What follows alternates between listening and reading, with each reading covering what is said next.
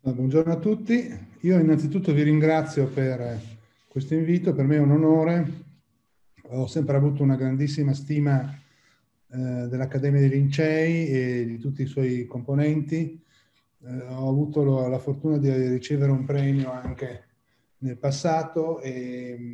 e quindi per me è quasi un po' emozionante poter fare questa conferenza oggi. Ho deciso di eh, trattare un tema che è un po' eh, un po' innovativo rispetto a quello che è la ricerca del cancro, che è quello degli aspetti metabolici nella, eh, nel, nel, trattamento dei tumori, perché è una linea di ricerca che abbiamo aperto in istituto, che io ho promosso in prima persona e quindi pensavo fosse una cosa interessante da, di cui rendervi partecipi, perché credo che nel, in un futuro prossimo avrà degli sviluppi piuttosto importanti. Aspettate che cerco di recuperare le mie diapositive. E ehm,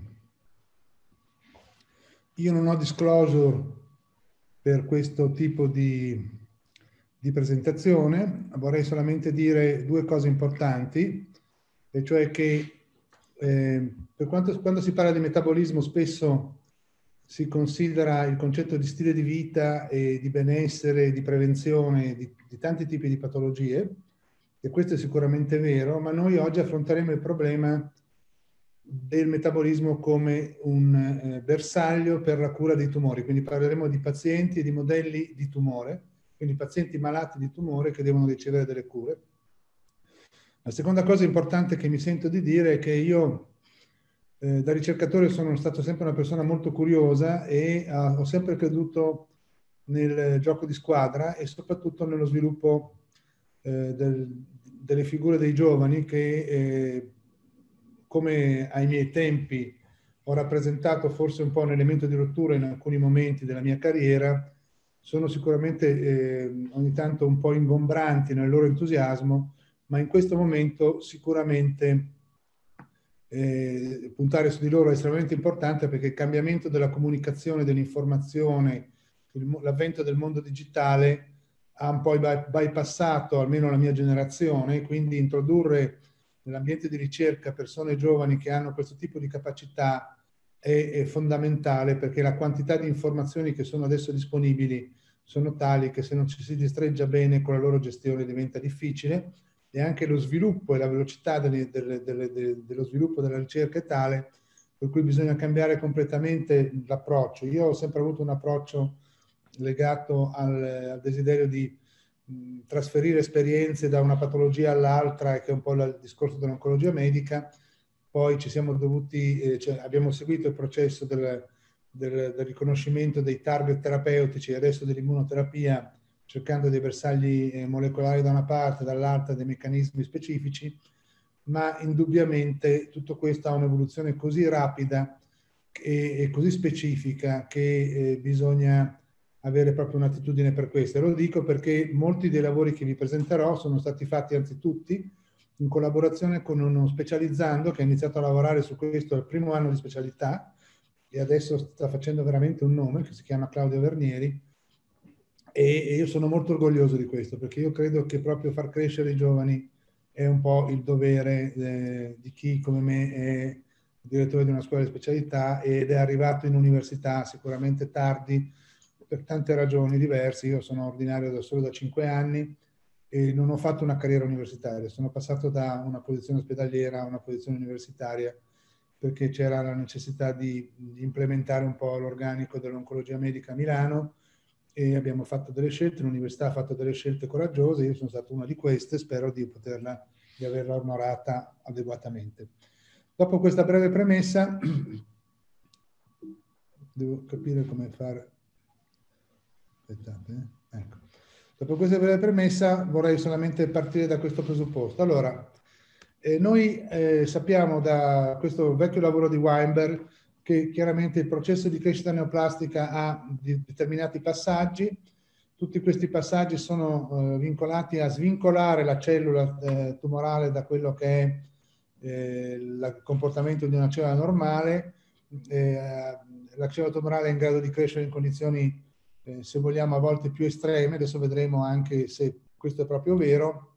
e eh, sicuramente è guidata spesso da dei geni che si sono alterati, che guidano dei processi, quindi si chiamano geni eh, che guidano la crescita tumorale, che spesso noi usiamo come bersagli molecolari, come bersagli per le, le, le nuove terapie dei tumori. Questo è stato veramente l'oggetto della ricerca degli ultimi 15 anni, se vogliamo, però indubbiamente ci siamo resi conto che i geni non possono essere considerati indipendentemente da quelli che sono i processi metabolici che portano alla replicazione cellulare e alla sintesi, cioè eh, una cellula tumorale ha bisogno di energia per crescere, eh, ma ha anche bisogno di sostanzialmente mattoni, di elementi come i lipidi, le proteine, per costruire eh, le, le, cellule che poi eh, continueranno a proliferare, per la sua proliferazione. E questo aspetto è cruciale perché su questo secondo aspetto probabilmente possiamo eh, lavorare molto bene e forse aprire veramente nuovi sviluppi importanti che vanno a imbricarsi con quelli che sono invece le ricette che in questo momento sono svolte principalmente dall'industria farmaceutica.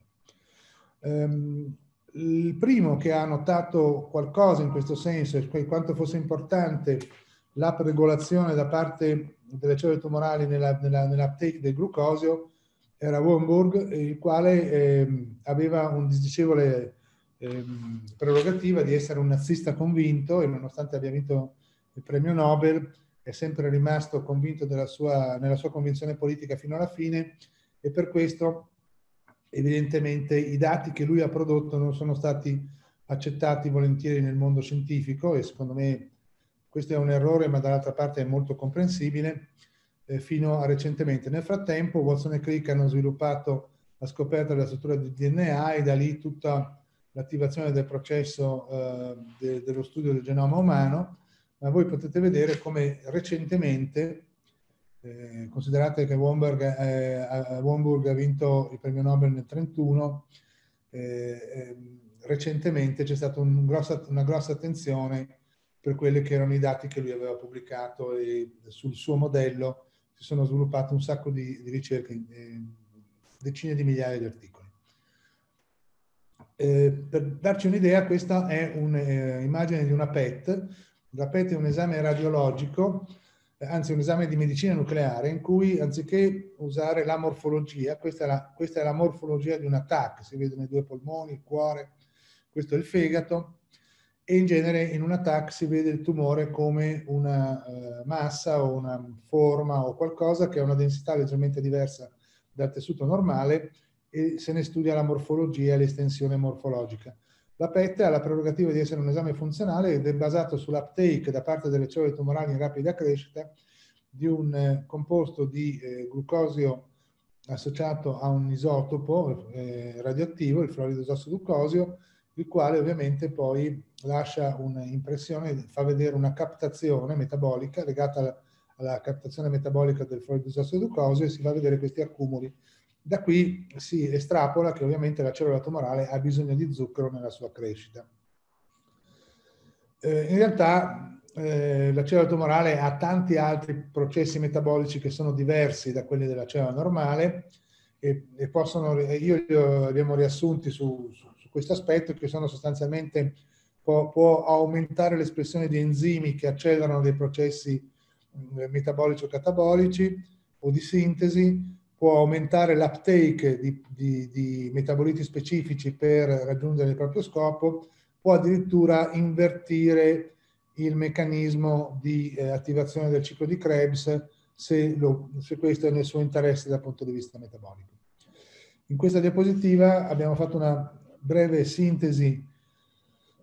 di quelli che sono gli aspetti. Voi vedete che sostanzialmente questa può rappresentare una cellula, questa è la parte di membrana da cui possono essere catturati metaboliti, possono arrivare segnali di crescita attraverso fattori di crescita, questi in genere possono esserci interazioni come farmaci, come i salicidati, la metformina. Tutto questo può arrivare direttamente a livello del mitocondrio e attivare un processo di produzione energetica, ma nello stesso tempo si possono sempre attraverso questo tipo di passaggi anche attivare delle pathway di produzione dei nucleotidi, degli aminoacidi, degli acidi grassi, del colesterolo e della sintesi proteica, che sono quegli elementi di cui vi dicevo, così importanti perché la cellula con l'energia da sola non va da nessuna parte se non ha poi i mattoni per costruire le altre cellule. I, eh, le, le, vie metaboliche principali che sono studiate sono ovviamente la glicolisi, il metabolismo degli acidi, degli aminoacidi e il metabolismo dei lipidi. Eh, però non bisogna dimenticarsi, e questa è una cosa che vi stresserò più volte in questa presentazione, che eh, in realtà non è che questo sia un passaggio svincolato dalla presenza di alterazioni molecolari o eh, genetiche del tumore. Eh, per esempio ci sono geni come KRAS che hanno un'importante attività nel stimolare la trascrizione glicolitica, MIC attiva eh, l'espressione dei, dei, lattati, eh, R2 che è un, un recettore di, di membrana regolato da questo eh, gene che se viene amplificato è molto importante nella uh, patogenesi e nella, nella, nella, cura del, di un tumore della mammella che ha la caratteristica di avere l'amplificazione di R2 è, un, un è un'espressione che si è in equilibrio con la sintesi degli acidi grassi nella, nel senso che la, la, la regolazione da parte di R2 aumenta la sintesi di acidi grassi che a loro volta aumentano la regolazione di R2. Quindi ci sono un sacco di processi che vanno proprio a intrinsecarsi con quelli che sono gli aspetti molecolari della malattia ed è proprio il bello di questo tipo di ricerca che è una ricerca vincolata. Infatti in questa diapositiva abbiamo cercato di spiegare che l'aspetto metabolico che può essere legato a cercare di fare una deprivazione calorica o una deprivazione di certe sostanze o un'interazione con l'assorbimento dei lipidi, eccetera, con farmaci, o con eh, delle forme di restrizione calorica, deve comunque tener conto che poi questa applicazione è vincolata al tipo di malattia e anche il tipo di malattia condiziona i processi metabolici che poi possono giovarsi o essere svantaggiati da delle manipolazioni di, di, di tipo dietetico o, di, o metabolico.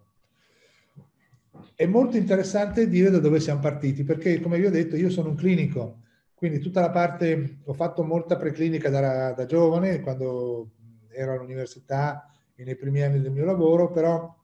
io sono sostanzialmente un clinico e nel mio, eh, nella mia divisione quello che ho cercato di eh, sviluppare è l'attenzione dei ragazzi sui problemi clinici che vedono quotidianamente in ambulatorio, sulle osservazioni che vengono fatte rivedendo le pubblicazioni scientifiche e da lì poi sviluppare una ricerca che va back to the bench, quindi mentre esiste tutta una linea di ricerca molto importante che è quella che parte dal, dalla ricerca di base e arriva a creare dei, dei, presupposti per poi sviluppare una ricerca clinica, noi eh, abitualmente cerchiamo di partire da quelli che sono i quesiti risolti nella clinica per stimolare poi eh, un ritorno alla ricerca di base per dare delle risposte. In particolare tutto questo lavoro è nato pochi anni fa, perché è nato nel 2014, quando rivedendo una, uh, una, pubblicazione che stavamo scrivendo su tumori neuroendocrini che erano trattati con analoghi della somatostatina o con everolimos, pubblicazione non particolarmente importante, non dava dei dati clinici particolarmente rilevanti, ho chiesto alla dottoressa che eh, stava analizzando i dati di questo studio di eh, splittarmi la popolazione in diabetici e non diabetici perché trattandosi di tumori del pancreas Ehm, eh, anche se di natura ne, ne, neuroendocrina, quindi con una prognosi decisamente migliore da quelli epiteliali,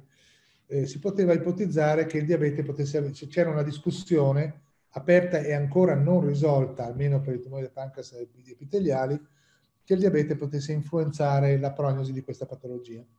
E facendo questo split si, si è visto che i pazienti diabetici, che sono quelli in rosso, hanno una eh, mediana di eh, progressione, eh, di tempo alla progressione della malattia dal momento in cui è iniziata la cura, quindi noi iniziamo il trattamento e misuriamo il momento in cui la malattia sfugge alla cura, e questo si chiama progression free survival, cioè sopravvivenza libera da progressione di malattia, che è il doppio dei pazienti non diabetici. E questo ci ha molto incuriosito. Allora gli ho detto, ma cerchiamo di capire perché i diabetici non sono tutti uguali e quindi abbiamo eh, splittato di nuovo tra diabetici che ricevevano metformina, diabetici che non ricevevano, ovviamente l'abbiamo fatto di più, abbiamo guardato l'insulina, la metformina, quelli che non prendevano niente, ma nella sintesi abbiamo notato che c'era una grossa differenza tra pazienti che ricevevano metformina da pazienti che non ricevevano metformina. E di nuovo la progressione libera da malattia era di 44 mesi per i diabetici che, quindi stiamo parlando di anni, parecchi anni, per i pazienti che ricevevano, diabetici che ricevevano metformina rispetto alla metà per i pazienti diabetici ma che non ricevevano metformina e ancora meno per gli altri. E questo ci ha fatto capire che probabilmente dovevamo interpretare meglio qual era il ruolo della metformina, che è molto discusso nel trattamento dei tumori. Ci sono tante pubblicazioni e molto controverse in questo tipo di patologia. Contestualmente eh, c'è stato un incontro, ho cominciato a rivalutare con attenzione alla luce di questi dati qualcosa che prima avevo considerato un po' eh, poco interessante, che era questi esperimenti che si facevano sul digiuno, eh, così un po', di, un poco organici, un po' eh, legati all'edonismo di nutrizionisti, cioè questa informazione parascientifica, eh, andando ad analizzare i dati molto più scientifici di Walter Longo che lavorando sulla eh, longevità aveva prodotto dei dati sul fatto che il digiuno avesse eh, in qualche modo un impatto importante sulla crescita delle cellule normali, sulla preservazione da processi infiammatori e eh, finalmente è arrivato a, qualche, a produrre qualche dato nei modelli preclinici, murini o di linee cellulari, eh, sul fatto che la combinazione di digiuno e eh, chemioterapia potesse essere efficace. E l'idea era che mentre le cellule tumorali sotto, eh, normali sotto stress tendenzialmente si autoproteggono, le cellule tumorali eh, nel momento in cui vengono proposte e messe sotto uno stress metabolico di, di digiuno, di starvation, tendenzialmente hanno una maggiore facilità di andare incontro a processi di apoptosi e morte, se sono in condizione di poterlo fare. Questa diapositiva che sembra complicata ve la semplifico e vuol dire semplicemente che in tre modelli di topo che hanno dei tumori murini, la combinazione di un digiuno, qui stiamo parlando di digiuno, e eh, quindi solo acqua, eh, al topo per eh, poche ore eh, a cicli, associato a un trattamento chemioterapico che questa linea rossa non eh, controlla la crescita, questa è la crescita del tumore, in maniera molto significativa rispetto, molto migliore rispetto al chemioterapico da solo, al digiuno da solo e ovviamente a non fare niente. Questo corrisponde a dei periodi di dimagrimento del topo. Il topo in genere quando perde peso viene definito in sofferenza, ma come vedete questa è una sofferenza transitoria perché non appena terminato il periodo di digiuno il topo recuperava il suo peso e quindi era considerato tollerabile. E in questo ultimo modello, che è un modello leggermente diverso perché è un modello di topo in cui il topo eh, nudo, cioè senza patrimonio immunitario, a cui sono state iniettate invece delle cellule del tumore umano, eh, si vede che eh, l'effetto è lo stesso, ma non si vede la curva con la chemioterapia perché poi dopo pochi giorni la maggioranza di topi trattati con chemioterapia morivano per effetti della chemioterapia. E quindi questo è una prova, diciamo un po' indiretta, che il trattamento eh, di digiuno associato al trattamento chemioterapico poteva essere protettivo sugli effetti collaterali del trattamento chemioterapico. Su questo ci sono state una serie di pubblicazioni su piccolissime casistiche che hanno prodotto dati come questo, che sostanzialmente facevano vedere che in effetti associare una forma di digiuno al trattamento chemioterapico poteva ridurre alcuni effetti collaterali. E, eh, e quindi noi abbiamo pensato come possiamo trasformare questo modello perché molto, mentre non è difficile mettere a digiuno un topo eh, che eh, tendenzialmente anche se si lamenta viene un po' ignorato dai ricercatori, proporre un digiuno severo a una persona è sicuramente sia dal punto di vista etico che dal punto di vista pratico estremamente difficile. E quindi abbiamo notato che per esempio eh, Walter Longo aveva proposto eh, degli esperimenti in cui il digiuno era eh, mimato da una dieta molto molto restrittiva dal punto di vista calorico che poteva avere un massimo di 1000 calorie al giorno ma anche molto meno in genere un, un dato complessivo di tra le 1000 e le 2500 calorie su, 4, su 3-5 giorni a seconda dei modelli e che quindi poteva essere in qualche modo forse meglio tollerato. Era stato visto che nei volontari sani questa dieta ripetuto ogni 3-4 settimane era eh, possibile, che aveva degli effetti metabolici significativi perché riduceva i livelli di glicemia, di insulinemia, di insulin-like growth factor e parametri infiammatori molto significativamente nei volontari sani. Inoltre c'era anche una riduzione del peso delle persone che si stabiliva intorno fino a un 15% e poi si manteneva stabile e che anche questo tipo di dieta, no, qui è successo qualcosa che non volevo, un attimo. Ecco, che anche questo tipo di dieta otteneva lo stesso risultato che abbiamo visto prima, cioè questi sono gli esperimenti fatti nel topo con la dieta in cui di nuovo si vede che la dieta più il trattamento chemoterapico ottiene una riduzione della crescita della malattia significativa rispetto al trattamento chemoterapico in diversi tipi di linee cellulari. Allora il problema nostro era però, stiamo parlando di volontari, di topi, di linee cellulari, ma il paziente oncologico, voi dovete immaginarci che noi che abbiamo dedicato la vita a curare questo tipo di malattie a queste persone, ci rendiamo conto della loro fragilità, della difficoltà di fare delle proposte di sacrifici ulteriori, io nella mia clinica spesso mi trovo a dover discutere su malati che sono in condizioni molto gravi, se è il caso di eh, ottemperare a dei rigori dal punto di vista dietetico o formale spesso sono molto più permissivo perché mi rendo conto che insomma è molto difficile imporre delle regole restrittive se non c'è chiaramente un outcome che può essere vantaggioso per il paziente in una persona che magari ha poche settimane o pochi mesi di vita e poi che potrebbe essere molto dannoso per loro. Allora noi avevamo due possibilità. Una era quella di seguire eh, l'esperienza di Longo che aveva già eh, commercializzato eh, una, una, linea di prodotti che eh, standardizzano una forma di eh, restrizione calorica con, con dei cibi che sono stati studiati apposta in maniera molto approfondita che ha richiesto diversi anni di lavoro e che quindi semplificava un po' il, il processo di standardizzazione dell'approccio perché uno comprava una scatola e sapeva esattamente quante calorie, come erano distribuite, qual era la composizione, tutte queste cose qua. Oppure seguire qualcosa che è un po' più della mia natura. Voi mi avete visto, io sono eh, considerato dagli amici e anche dal professor del corso un buon vivant, mi piace cucinare bene, penso che la palatabilità delle cose è importante. E quindi ho eh, diciamo, cercato di di imprintare il mio ricercatore Vernieri, che invece proprio lui era in quel momento al primo anno di specialità di oncologia medica, ma alle spalle aveva già fatto un PhD,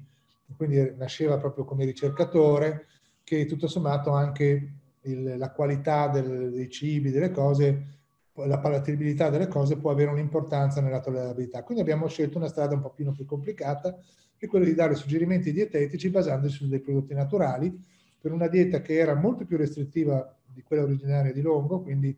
noi proponevamo circa eh, 1800 calorie in 5 giorni, basandoci su un mix di sostanze che erano vegetali, soprattutto verdura, ma anche integrata con un cucchiaio di olio, delle mandorle, cioè delle nocciole, non era esclusa la possibilità di mangiare un po' di pane, queste cose qua. L'obiettivo di questo studio, che è stato il primo, è stato quello ovvio per un clinico oncologo, cioè cercare di capire se era fattibile che una dieta di questo tipo fosse proposta ai pazienti e i pazienti l'avrebbero tollerata e perseguita. Perché c'erano segnali da esperienze che venivano fatte in altri paesi in cui gli studi, alcuni studi che erano già iniziati, erano stati interrotti proprio per la mancanza di compliance da parte dei pazienti rispetto alla dieta. Noi abbiamo fatto un lavoro enorme eh, cercando di... Claudio Vernieri è stato on, on, on call eh, telefonicamente, per fortuna è insonne, per cui questo ha molto aiutato. Adesso non devo dire che bisogna selezionare la proprio staff su persone di questo tipo, però questo ha aiutato questo tipo di studio, per cui ha sempre risposto ai pazienti, un contatto costante per via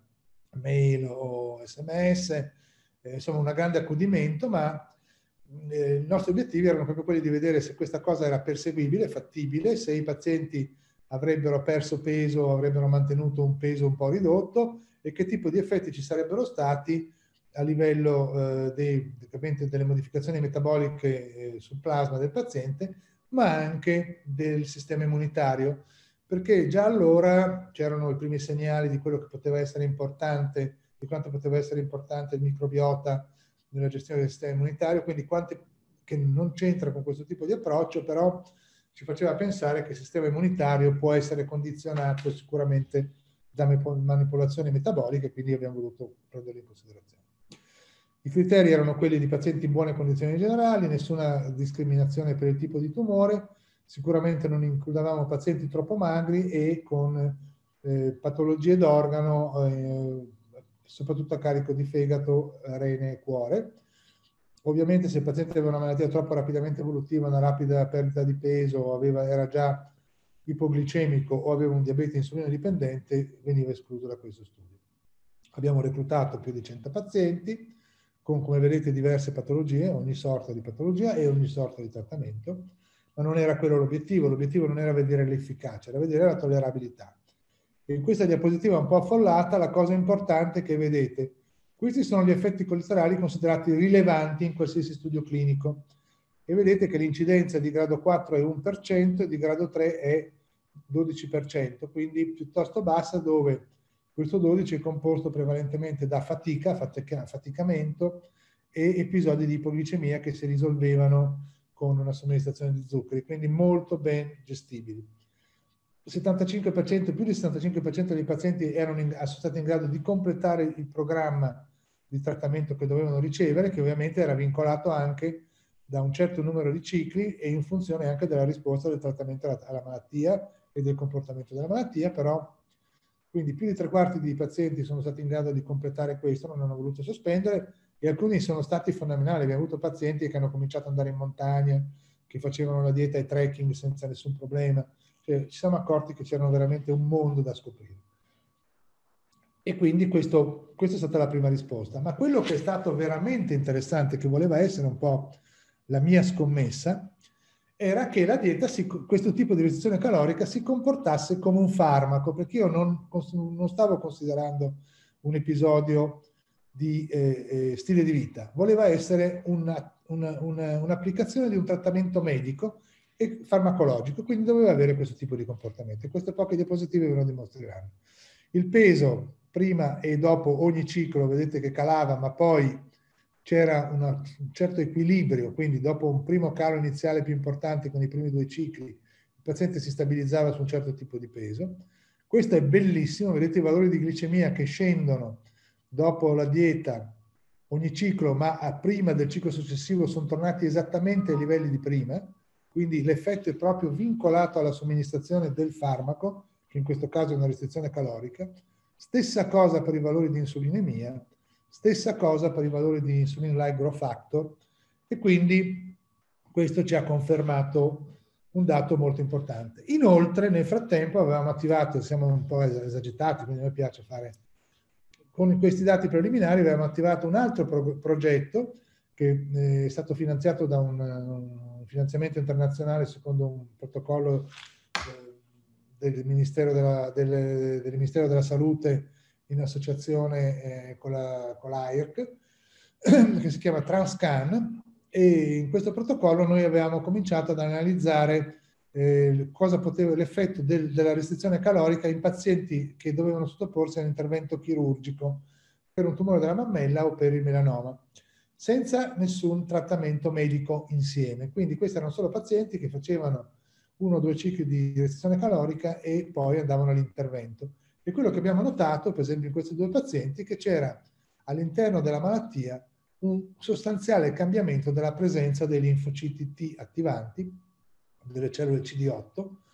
eh, che quindi ci faceva pensare che ci fosse un cambiamento e una ripopolazione della malattia con quei linfociti che dovrebbero contribuire ad aggredire eh, la cellula tumorale. Quindi questo è stato un segnale molto interessante che ci ha convinto che quello che stavamo facendo poteva avere una conseguenza importante. Il meccanismo per cui questo tipo di processo poteva avvenire l'abbiamo sintetizzato qua, e cioè la restrizione calorica da un certo punto di vista può stimolare le cellule T e le cellule NK a proliferare e a migrare, contestualmente la, la, la riduzione della glicolisi intratumorale può ridurre la produzione a livello di cellula tumorale di fattori di crescita che richiamano il, il, eh, cellule mieloidi che invece hanno un effetto immunosoppressivo e quindi c'è un condizionamento nella produzione di queste cellule che quindi tendenzialmente lasciano più spazio a quelle effettrici. Questa è un po' la sintesi. E contestualmente abbiamo visto che combinando il trattamento insieme ai chemioterapici, i pazienti per esempio che hanno tumori del colon che non sono particolarmente facili da curare, si vedeva net, un netto miglioramento della malattia, sia dal punto di vista morfologico con la sia dal punto di vista metabolico con la PET. Vedete questi passaggi nell'arco del tempo e qui sono altre immagini sempre di pazienti di questo tipo. E quindi siamo stati un po' eh, convinti da questa prima sperimentazione che oltre al fatto che fosse tollerabile fosse un approccio che andava approfondito. Le conclusioni sono quelle che vedete, cioè che la dieta era tollerabile, che i metaboliti che ci aspettavamo si dovessero ridurre si riducevano, che eh, c'era questa osservazione sulla riduzione delle, della popolazione di cellule immunosoppressive molto interessanti e che quindi era assolutamente importante che andassimo avanti con progetti di questo tipo. Poi ci siamo detti quali sono i giocatori che eh, possono aiutare una restrizione calorica a un, ottenere un effetto antitumorale. E abbiamo visto su modelli di linee eh, cellulari, questi sono esperimenti fatti con digiuno, dieta minima digiuno, su eh, tumori ormonosensibili eh, modelli, modelli eh, preclinici di tumori immunosensibili e vedete che sostanzialmente eh, il, il, il, trattamento eh, in presenza di dieta ottiene dei risultati sulla malattia molto migliori che il trattamento senza dieta e questo anche con altre manipolazioni ormonali. Quindi questo è un campo che sicuramente può avere importanza. Poi eh,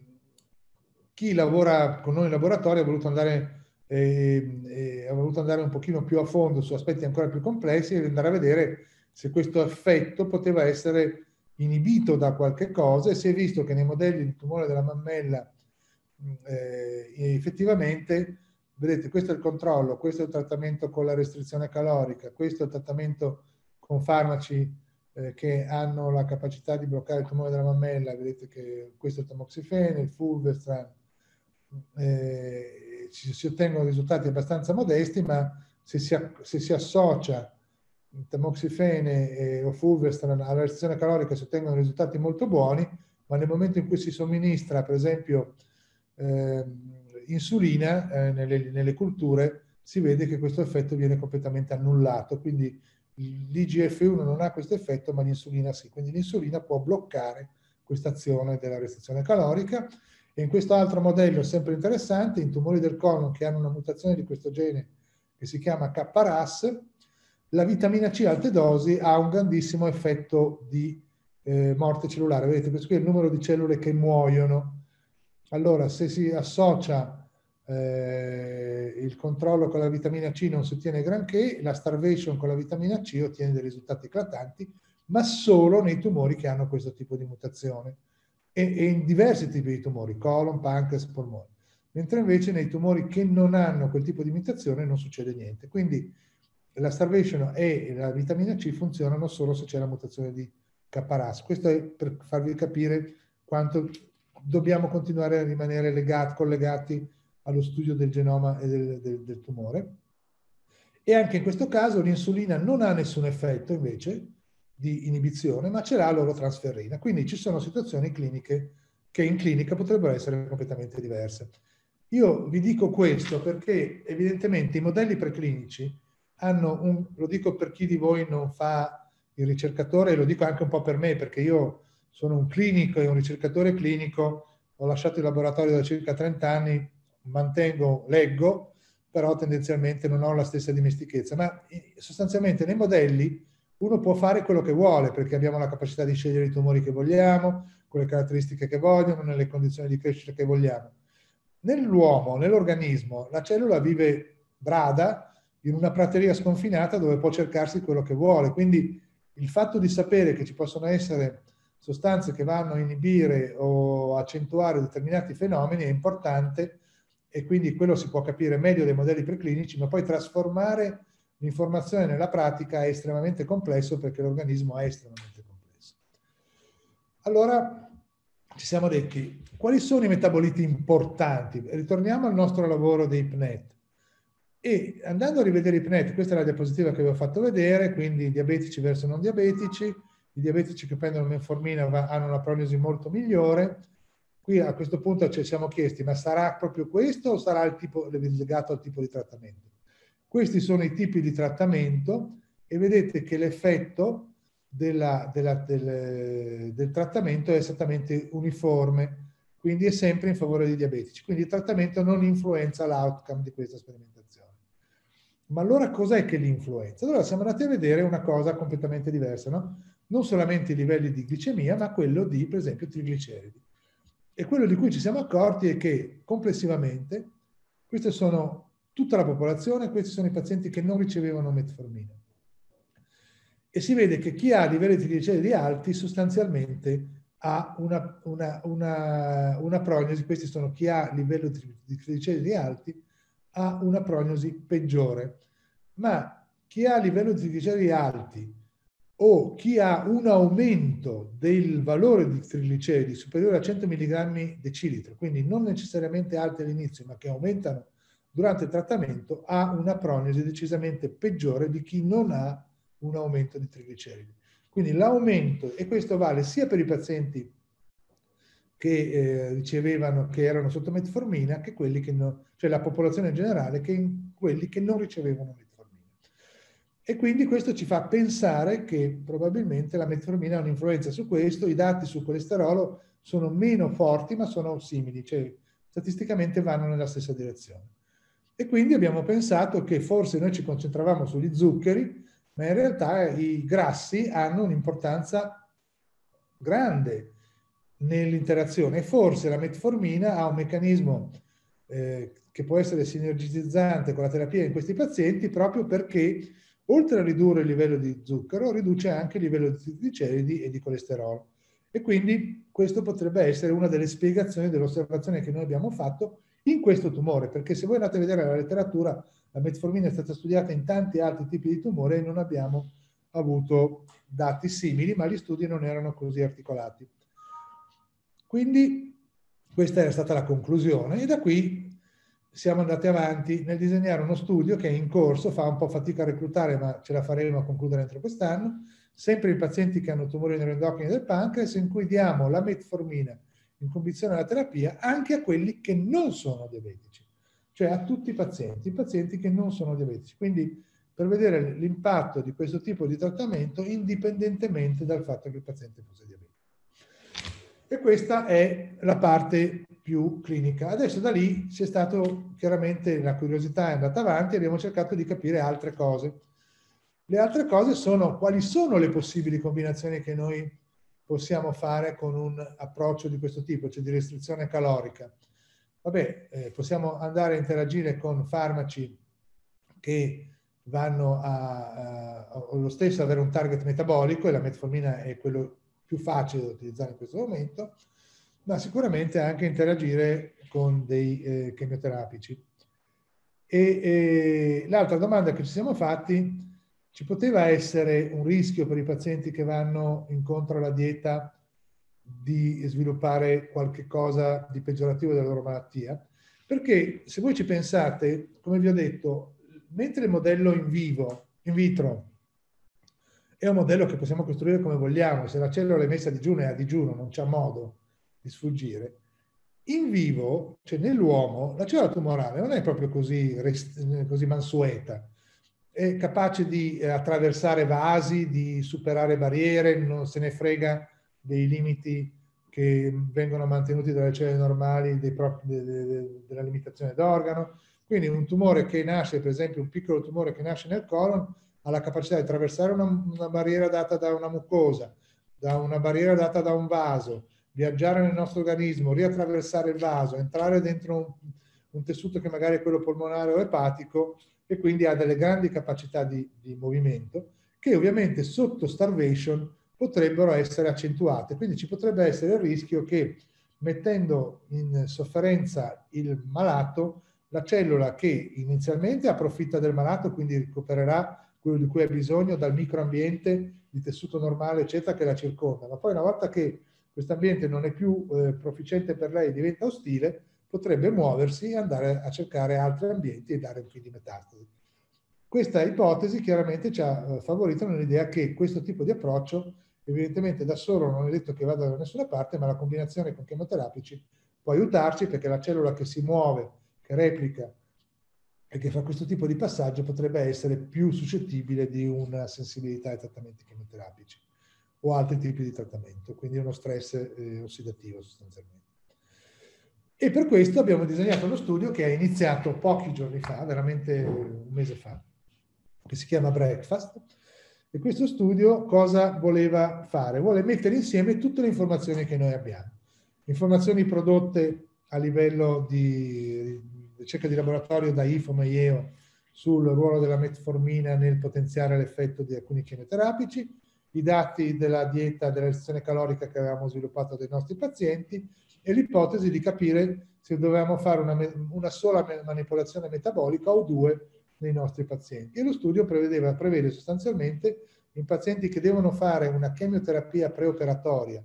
per un tumore della mammella che è molto aggressivo e ha una prognosi peggiore degli altri, che si chiama triple negative, cioè un tumore che non è dipendente né dalla, nella sua crescita né dall'espressione di recettori per gli estrogeni o progesterone perché non li ha, né da ER2 perché non lo esprime, e quindi sono cellule molto, molto più indifferenziate apparentemente,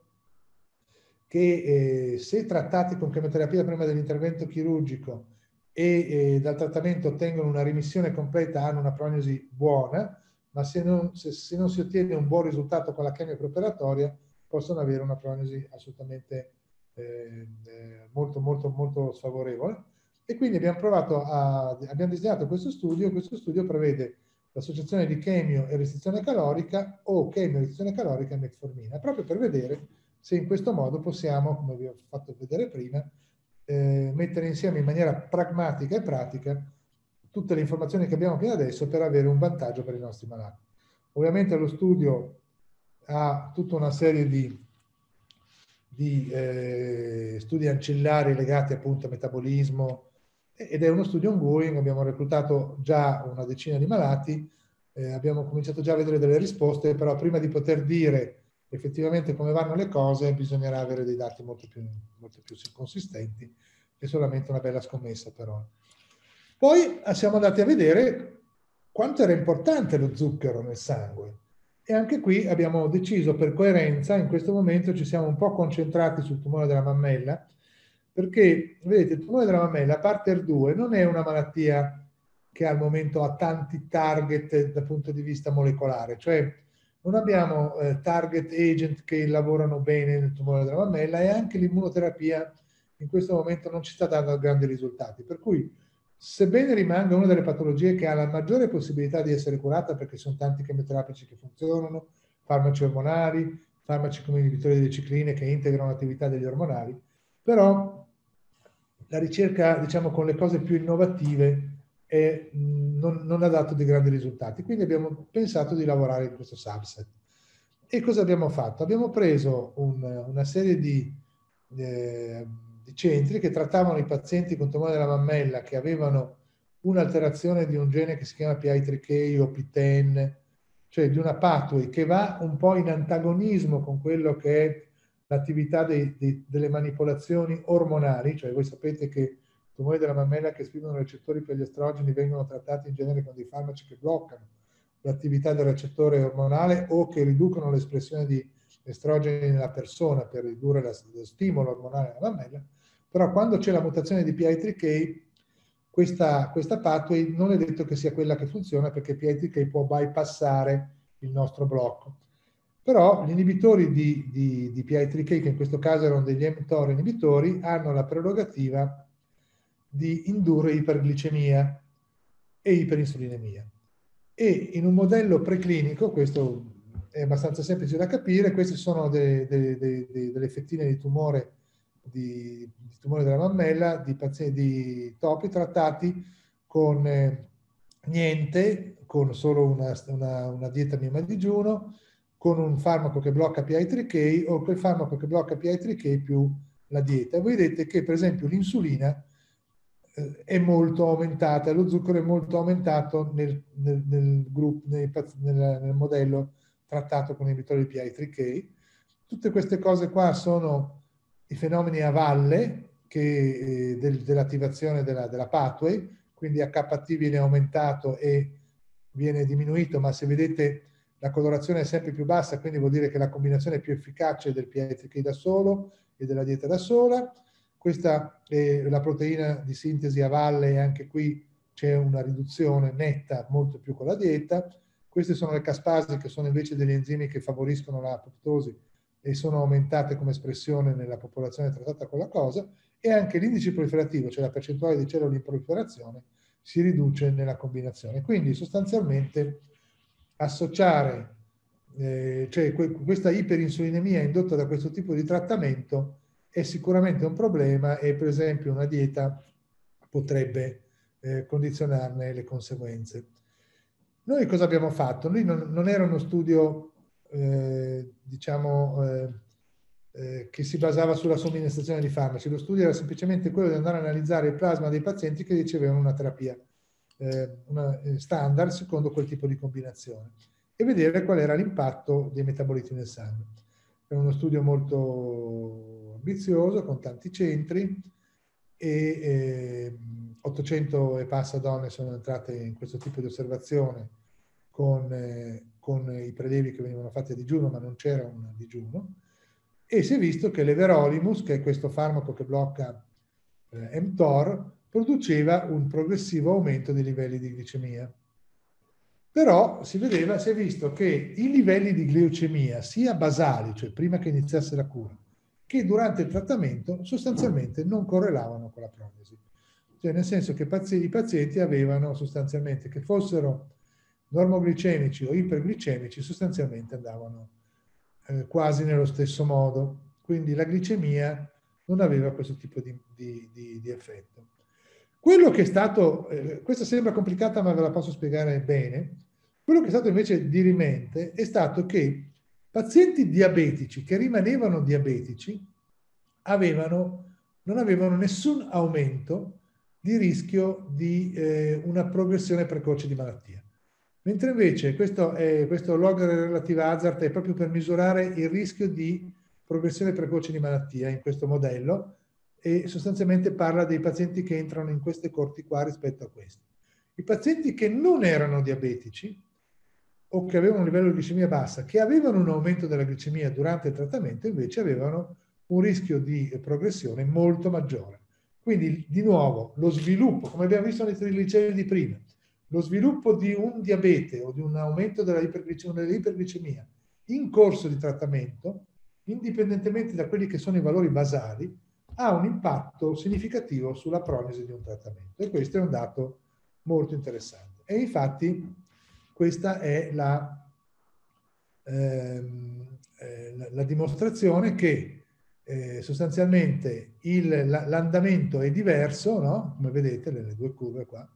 ma pazienti con valori normali rispetto ai pazienti che hanno